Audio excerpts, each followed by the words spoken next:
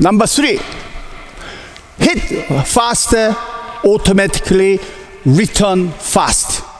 So my ready has to be faster. One, two, three. One, two, three, four. Not one,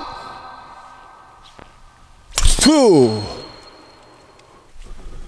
one, two, one, two.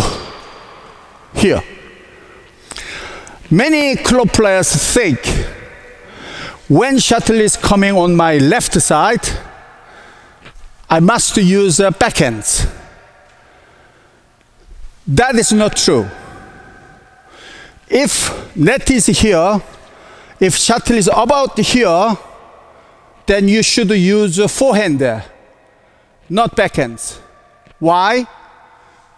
Because more likely you will be able to finish the rally by using forehand. So that's why you need uh, to do the step one. One, watching the shuttlecock. And shuttlecock is coming little bit high. Then one, racket goes there. Two, like this. One, shuttle is coming. Two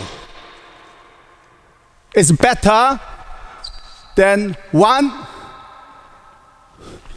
two is weaker and more chance of me making mistake than the forehander. How do you know if you have to use a backhand or a forehand to kill it?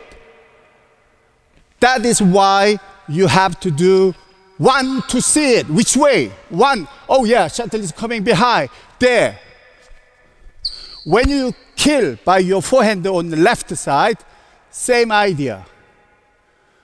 Racket face, face the shuttlecock, wrist must be vertically cocked like that.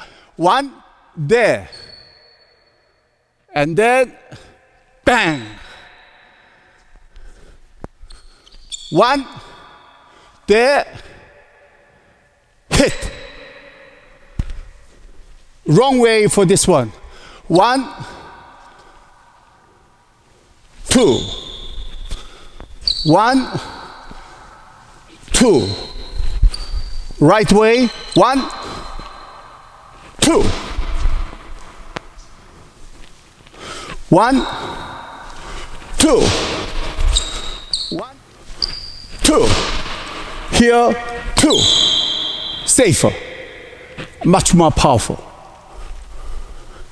So on your left side, you should be able to use uh, both. Shuttle behind, forehand kill. It's a bit tight, then backhands. And you must do the one to make that decision.